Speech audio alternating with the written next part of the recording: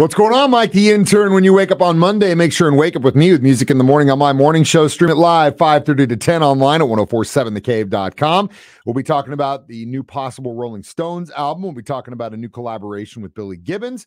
We'll talk about the Eagles playing in Kansas City and St. Louis in November, and we'll talk about my thoughts on the Revolver reissue from the Beatles, 6:30 and 7:30 morning spin, celebrating the 55th anniversary of the Moody Blues Days of Future Passed. Vote for your favorite song online at 1047thecave.com. 720, your keys to the kingdom. We'll check in with Trey Smith on the Kansas City Chiefs. 725 and 820, Ned Reynolds and myself will talk sports. 745, Guitar Hero Worship.